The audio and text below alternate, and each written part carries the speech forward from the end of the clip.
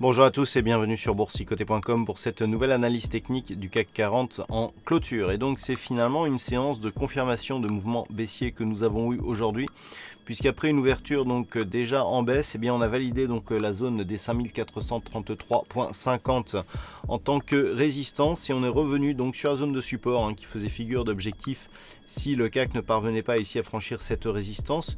Sur la zone des 5352 et donc au terme de cette séance, eh bien le CAC 40 clôture à 5358.59 et perd 1,46% par rapport à la clôture de la séance précédente.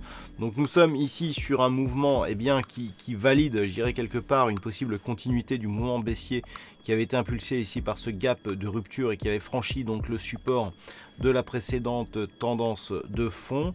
On a ici une dynamique qui vient provoquer un fort contact ici sur la bande de Bollinger inférieure, un rebond sur la moyenne mobile 20 exponentielle ici en rouge qui agit comme une résistance et donc une tentative ici de confirmation de poursuite de ce mouvement baissier. Du point de vue des indicateurs techniques, on valide bien ici cette possible continuité baissière puisque les histogrammes du MACD qui étaient positifs jusqu'à présent donc euh, par rapport à la phase de rebond technique, eh bien repasse ici dans une évolution baissière. Le RSI qui s'était euh, quant à lui euh, neutralisé reste relativement neutre sur cette configuration. Alors les volumes sont dans la moyenne donc par rapport à la configuration actuelle, clairement, on a ici une configuration chartiste donc qui, avec ce rebond ici sous la moyenne mobile 20 exponentielle, eh bien, nous indique que l'on pourrait repartir à la baisse et surtout que le CAC 40 s'est inscrit dans un mouvement qui est potentiellement euh, durablement baissier. Et puis si on regarde ici cet ensemble, ces trois bougies, nous avons un pattern ici qui nous donne une configuration. Alors ce n'est pas une étoile du soir, mais euh, c'est une configuration qui ressemble un petit peu et qui nous donne en tout cas les mêmes informations. À savoir ici une bougie à forte conviction haussière, une bougie d'hésitation au milieu avec des volumes supérieurs à la moyenne et une bougie ici à forte conviction baissière.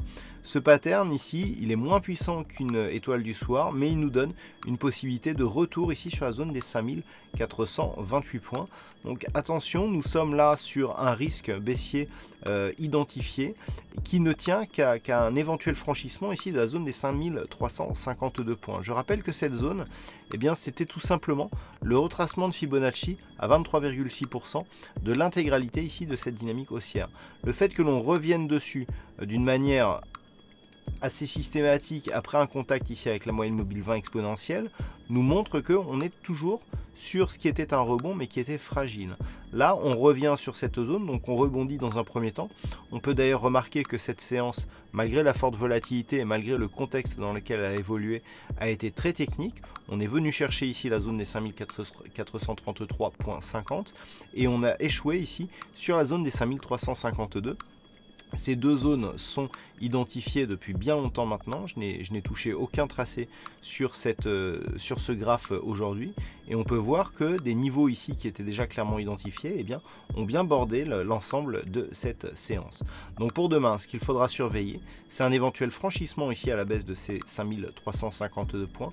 Si tel était le cas, eh bien, on validerait la configuration que je vous ai montrée aujourd'hui, à savoir ici le pattern de retournement et ici euh, la phase avec attaque ici de la bolle inférieure, retour sur la moyenne mobile 20 exponentielle et finalement poursuite du mouvement.